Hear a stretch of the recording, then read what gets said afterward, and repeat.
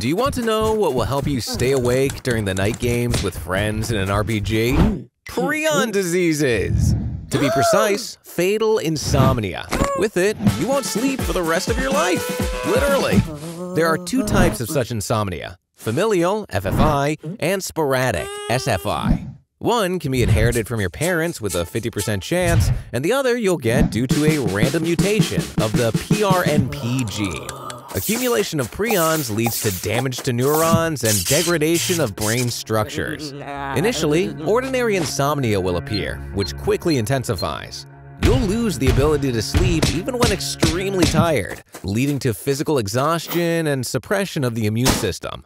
But do you think that's all? Mental impairment, madness, and hallucinations will become your new friends. Fatal insomnia will kill you within 36 months. So hurry up to raise your rating. Time is running out.